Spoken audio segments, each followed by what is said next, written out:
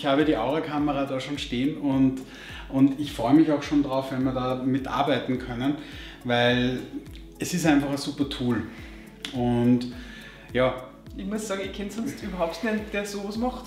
Also das ist, wo man denkt, außergewöhnlich. Ja, es ist ein bisschen eine Nische. Also es ist ja so, dass rein von der Interpretation, von der Aura her, schaut es ja so aus, dass ich das eh so wahrnehmen kann und meine Kunden kennen das ja schon, wenn die zu mir kommen. Das heißt, du brauchst eigentlich keine Kamera? Nee, ich brauche es nicht.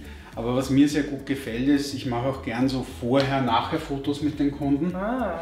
Also vor einer Sitzung, nach einer Sitzung und da sieht man dann, was passiert ist, also was sich getan hat ah. im Energiefeld. Und das hilft dann auch dem Klienten einfach zu visualisieren, aha, da ist wirklich was geschehen. Ich meine, die mhm. spüren es zwar schon, aber das ist halt einfach noch einmal so ein bisschen ein ein Beweis. Ja? Mhm. Und jetzt freue ich mich, wenn wir das heute dann schaffen können. Ja, also ich finde es gut, wenn ich irgendwo was machen kann und dann habe ich nachher was in der Hand, was mhm. ich für mich daheim noch ein bisschen nachwirken lassen kann, was ich mir immer wieder mal anschauen kann, so, wo man denkt, ja. Das macht auch das Sinn. Das macht auch Sinn, weil wenn du nach einer Sitzung von mir bist, bist du gerade in einer in einer harmonisierenden, heilsamen Energie, sage ich jetzt mal. Mhm. Und wenn du dir das Bild anschaust, dann auch nach einer Sitzung, dann kommst du eigentlich von der Erinnerung her wieder in diese Energie rein. Ja. Wie bei einem Urlaubsfoto, wenn du sagst, jetzt schaue ich mir das an und da liege ich am Strand oder bin gerade an der Strandbar und trinke was mhm. und, und, und da, ach schön, dann, dann riecht man wieder das Meer und hört die Möwen. Und darum macht es auch Sinn, sich so ein Foto dann auch mitzunehmen, weil, weil man eben, wie gesagt, ein bisschen so diese Interpretation drinnen hat und Inspiration wieder hat. Und das kann man sich mitnehmen. Da wäre jetzt alles bereit. Bitte. Jetzt sind wir schon im Fotostudio. Wow. Aufgeregt? Ja, Also, das ist jetzt mal die Aura-Kamera. Die okay. schaut aus ja irgendwie wie so, wie so ein altes Wild, ja, voll geil. Wie die alten Fotografen. Ja, genau. Und, und das finde ich eigentlich so cool. Ist, das ist damals mit Fujifilm hat das funktioniert, also mit so einem Abziehfilm, das war da drinnen da hinten siehst du. Aber ja, genau. das, der ist leider nicht, der wird nicht mehr produziert. Und jetzt ist das auf digital, jetzt ist es ein bisschen, ich finde, der, der raue Charme der Kamera hat ein bisschen gelitten, aber die Technik ist eigentlich verbessert worden. Das heißt, die Fotos schauen eigentlich fast noch ein bisschen klarer und crispier. Mhm. Ziel ist natürlich, wie gesagt, wir nehmen die Aura auf. Ich habe jetzt vorher noch nichts über die Aura gesagt. Du kannst dir das so vorstellen, es geht darum, etwas Unsichtbares sichtbar zu machen.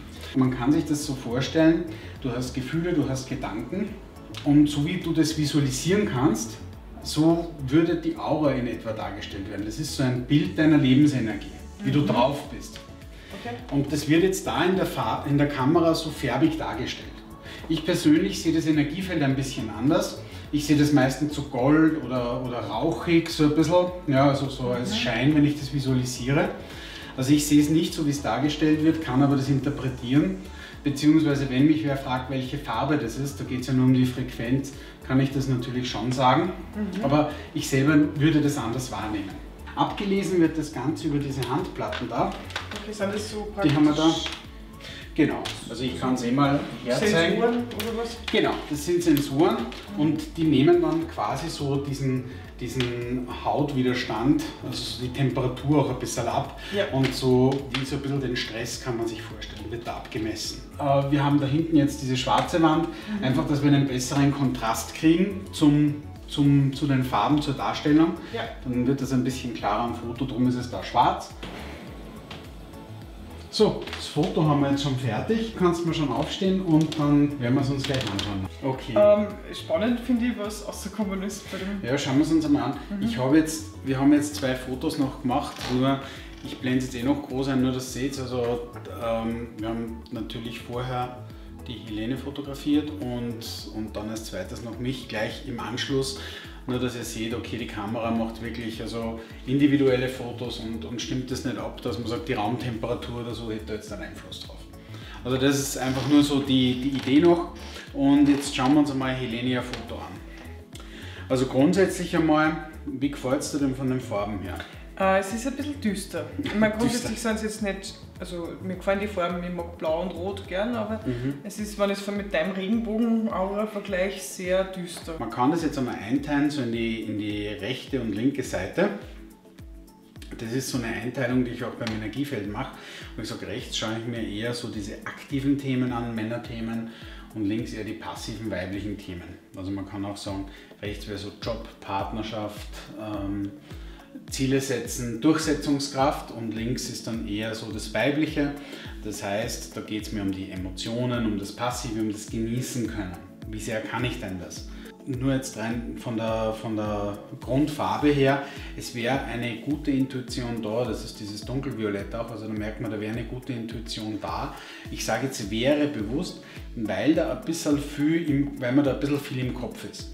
Das ist so dieser weinrote Kranz, den man da sieht. Da sind viele Gedanken, wo man sagt, was soll ich machen, wo soll das hingehen, was wäre am gescheitesten. Also man grübelt viel, anstatt dass man eher dann, man würde sagen, aus dem Bauch heraus entscheidet. Also das wäre das wär jetzt da sicher ein Thema, wo ich sage, okay, hast du das Gefühl, dass du viel grübelst? So generell einmal oder viel nachdenkst? Äh, da habe ich mehr schlimmere Zeiten gehabt. Mhm. Wobei, ähm, muss ich ganz ehrlich sagen, die Corona-Zeit mir sehr viel ich mache mir viel Sorgen. Das ist das.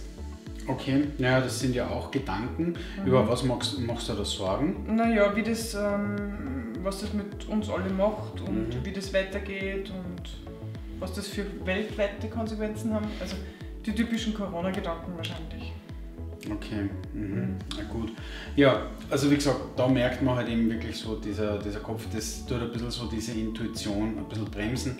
Das wäre eigentlich so ein Zeichen, wo man sagt, du schau her, du bist geführt, du hast eine gute Intuition, es wird schon passen, es wird schon gut gehen. Ähm, also da würde ich mich nicht so sehr darauf jetzt fixieren, zu sagen, dass, dass die Sorgen jetzt so notwendig sind. Also eigentlich wäre dieses Bild so die Botschaft zu sagen, hey, alles ist gut, ähm, mhm. du hast einen guten Draht nach oben, einen sehr guten Draht nach oben, also nutzt es einfach auch. Das, was wir heute halt einfach da auch drinnen haben, das sehen wir da so beim Halschakra, siehst du, da ist das so mhm. verfärbter. Äh, das ist einfach so ein bisschen so ein Stressthema, kann auf der einen Seite ein Schilddrüsenthema sein, kann aber auch so ein Stressthema sein, also ein Durchsetzungsthema sein, also so ein Hals. Hals ist immer so, äh, wie werde ich gehört, wie, wie, wie werde ich wahrgenommen. Ja? Mhm. Also das kann was sein, dass da ein bisschen, dass da ein bisschen ein Stau ist, beziehungsweise so wie das liegt, nachdem das so leicht nach links zieht, kann das auch mit einem Mutterthema zusammenhängen, dass ich sage, okay, ist, ich empfinde meine Mutter teilweise als anstrengend oder die Beziehung meiner Mutter teilweise als belastend. Ja. Also das kann sich da so im Halschakra spiegeln. Mhm. Ja. Wobei mir der Teil mit den fünf Farben eigentlich recht gut gefällt, also persönlich. Schaut irgendwie... Ja, es ist auf jeden Fall bewegter. Das mhm. ist, ähm, äh, es ist auch sicher so ein bisschen so eine Disposition eben zur emotionalen Ebene, weil wir da die, mhm. dieselben Farben haben, wie du mit der Herzgegend hast, haben wir da so im Hals oben. Ähm, es kann auch sein, dass man sagt, okay, wie gehören Gefühle ausgedrückt oder kann ich meine Gefühle so ausdrücken, mhm. wie ich sie möchte ab und zu oder schlucke ich da ab und zu was. Ja? Mhm. Also das könnte es heißen da auch. Ja? Mhm. Gibt es genau. irgendwas, was ganz speziell auffällt und wo man sagt, da ist ja irgendwas, wo wirklich Handlungsbedarf wäre oder... Naja, also wenn wir jetzt eine Sitzung machen würden, würde ich auf jeden Fall ein bisschen mehr so an der Erdung, am Urvertrauen, am Eigenwert arbeiten, dass wir so rein vom Kopf her das ein bisschen mhm. freier kriegen.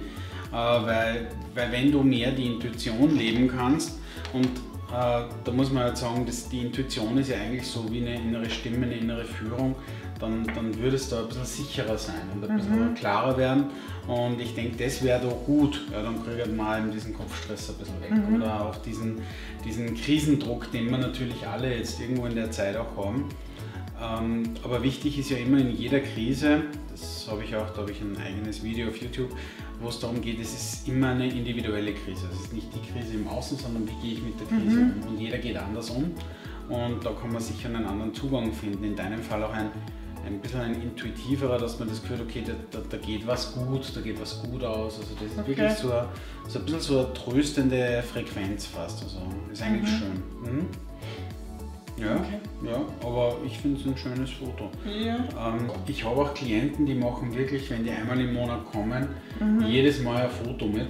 Äh, und es ist jedes Mal, es sind Grundthemen gleich. Mhm. Diese Grundblockadenthemen sieht man gleich, mhm. aber es ist trotzdem jedes Mal anders. Ja? Ja. Also, und es ist, also man sieht dann immer so diese Nuancen und wenn die dann eben ich habe immer so Leute, die kommen einmal im Monat oder alle zwei Monate und die lassen immer so vorher-nachher-Fotos machen und die finden das dann immer ganz cool. Ja. Also kann man auf jeden Fall machen und wie gesagt, die Technologie habe ich da, die Kamera habe ich da und, und jederzeit gerne mhm. einen Termin ausmachen zum Auerfoto. Sehr gerne. Und danke an die Helene, dass sie heute sich zur Verfügung gestellt hat. Ja, sowieso. Ich meine, für mich war das sehr spannend.